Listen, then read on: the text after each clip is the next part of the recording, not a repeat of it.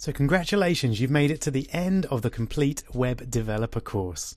I hope you've learned a huge amount over the last few weeks and months, and I hope you've had a great time while you were doing it. You might be wondering, what now? Well, if you haven't started already, get a copy of my book, How to Earn $10,000 While Learning to Code, and that'll give you plenty of ways to earn money with your newfound skills. If you've got any great business ideas, then start putting them into action. Make that app that you've always wanted to develop. Or impress the boss by revamping the company website. There's so much you can do, and I really hope that you keep in touch in the forums and let me know how you're getting on. Once again, thanks for taking this course and congratulations on completing it. I wish you the very best of luck in your career as a web developer. I wish you the very best of luck in your new career as a web developer.